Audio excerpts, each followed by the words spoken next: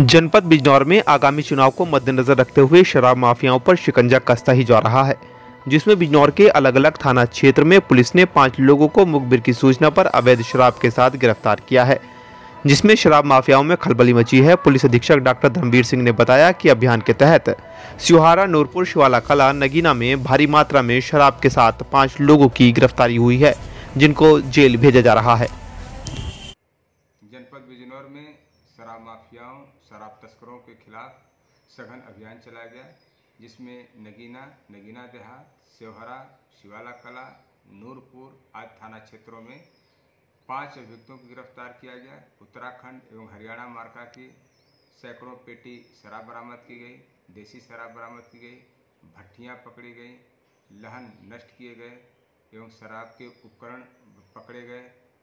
आवश्यक विधिक कार्रवाई की जा रही है। अभियुक्तों को गिरफ़्तार करके जेल भेजा जा रहा है। इनकी संपूर्ण कीमत लगभग 12 लाख रुपए की है।